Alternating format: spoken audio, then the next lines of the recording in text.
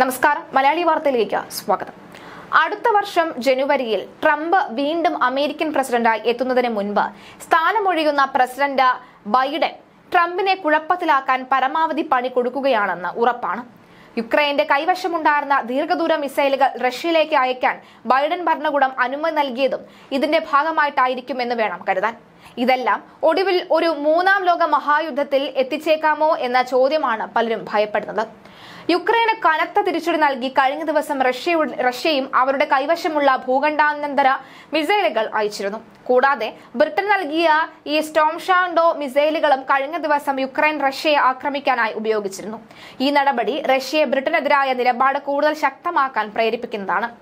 ഈ സ്റ്റോംഷാങ് ഡോ മിസൈലുകൾ റഷ്യയിലേക്ക് അയക്കാൻ ബ്രിട്ടൻ അനുമതി നൽകിയതിന്റെ അർത്ഥം ബ്രിട്ടനും തങ്ങൾക്കെതിരായ യുദ്ധത്തിൽ പങ്കുചേരുന്നു എന്നാണെന്നാണ് യു കെയിലെ റഷ്യൻ അംബാസിഡർ കുറ്റപ്പെടുത്തിയത്.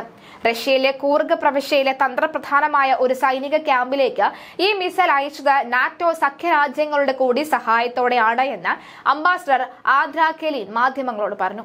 ഇതിന് തിരിച്ചടിയായി റഷ്യ യുക്രൈനിലേക്ക് ഭൂഖണ്ഡാനന്തര മിസൈലുകൾ അയച്ചിരുന്നു.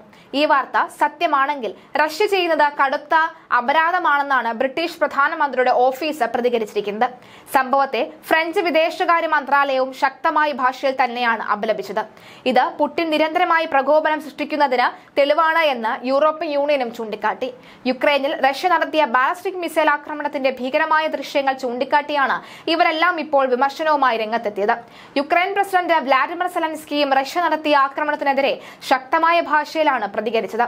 മിസൈലിന്റെ വേഗതയും മറ്റു കാര്യങ്ങളും വിലയിരുത്തിയ യുക്രൈൻ സൈന്യം അതൊരു ഭൂഖണ്ഡാന്തര ബാലിസ്റ്റിക് മിസൈൽ തന്നെയാണ് എന്ന് സ്ഥിരീകരിച്ചതായി സെലൻസ്കി വ്യക്തമാക്കി. എന്നാൽ ഇത് സംബന്ധിച്ച് വ്യക്തമായ തെളിവുകൾ ഇനിയും ലഭിച്ചിട്ടില്ല.